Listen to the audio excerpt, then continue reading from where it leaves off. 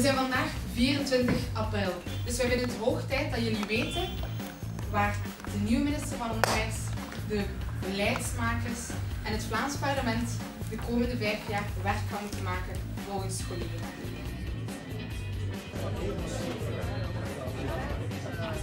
We hebben zes prioriteiten opgelijst en dat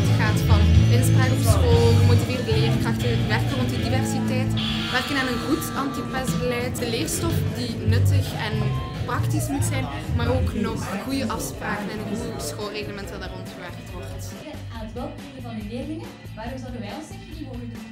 Onderwijs is de moeilijkste uh, materie die er is. Er is altijd wel iemand die tegen is. Um, men vergeet soms wel eens het algemeen belang. Zorgen dat jongeren het uh, beste onderwijs krijgen. Daar heb je ook verschil van mening over. Maar het is niet gemakkelijk. Voor mij is de droom dat uh, iedereen die 18 jaar is uit onderwijs komt en die een beroep moet kiezen, die leerkracht wil worden. Op die manier heb je pas zeer goed onderwijs.